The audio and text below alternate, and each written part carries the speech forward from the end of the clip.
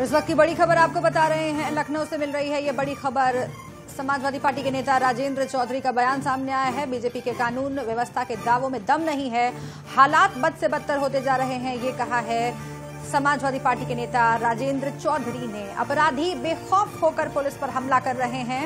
इन दिनों बच्चे स्कूलों में ठंड से ठिठुर रहे हैं, इस पर भी वार किया है। उन्होंने टेंडर के नाम पर स्वेटर बांटने में देरी की गई है। सीधे सरकार पर निशाना साधा है राजेंद्र चौधरी ने। इस वक्त की बड़ी खबर आपको बता रहे हैं। समाजवादी पार्टी का बीजेपी सरकार के ऊपर वार। लखनऊ से ये बड़ी खबर आप तक पहुँचा रहे हैं। ये अहम बयान दिया है। बीजेपी के कानून व्यवस्था के दावों पर सीधा सवाल खड़ा किया है और कहा है कि उन दावों में दम नहीं है। हालात बद से बदतर होते जा रहे हैं, ये कहा है राजेंद्र चौधरी ने।